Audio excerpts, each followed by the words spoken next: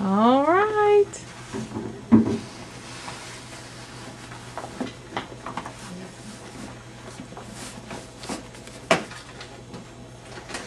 Ready? Yeah. All right. Here we go. Miss Leah will take you down. All right. Sorry. Oh, you're good. Here's um. Oh, Oh, that, that's it. On top of the parking garage. I tell you what, look, fit in the base. you know what? You can throw it in there. Okay, oh, in the See, front. there's a ton of room in there still. Uh, say hate to. I got weight limit that thing. Y'all are gonna break it quick, huh? Shoot. As a family, we don't do very good with weight limits. In my store, I did that too. I was like shoving. My grandmother's like, um, y'all supposed to put like ten pounds down there? Well, congratulations. Thank you. Bye. See you all tomorrow. That's right. Okay, slow down a second. Oh, I can't get him. The other one outside. Yes, we have to pause and get Ryan.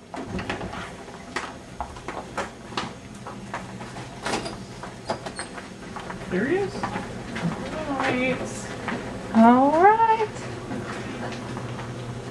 Daddy's gonna go get your brother, who has already stolen your thunder by coming home first. That's all right. Oh,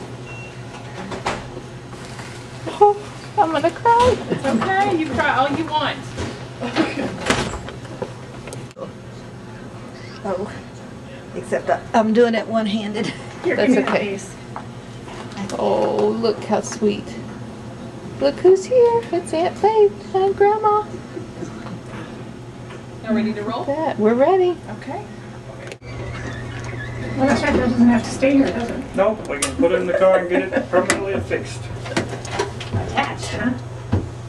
I don't know, what time is it? I don't even know what time it is. It's so tiny. I don't know who I've got a. I don't know if I got a picture of him or not. Well, this,